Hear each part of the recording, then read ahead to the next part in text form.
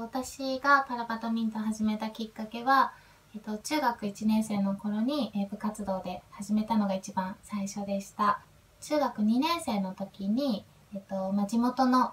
え、障害者のバドミントンクラブチームの方と知り合うことがあってそこからパラバドミントンの、え、世界を知ることができました。えーと、バドミントンは車椅子とあと立位大きく分けると2つのカテゴリーがあります。私がやってて感じる魅力はやっぱりあの静かにこう静まった体育館の中であのスマッシュのあのスピードだったり音だったりそういう、え迫力っていうのをあの感じることができると思います。これから、えーと、始めようと思っている方は最初はすごくこう始めるまでにこう時間がかかってしまったりとかあの、まあ、決心がこうつかないとかあるかもしれないんですけどまずはあの何事もチャレンジするっていう気持ちを持って始めてみてください。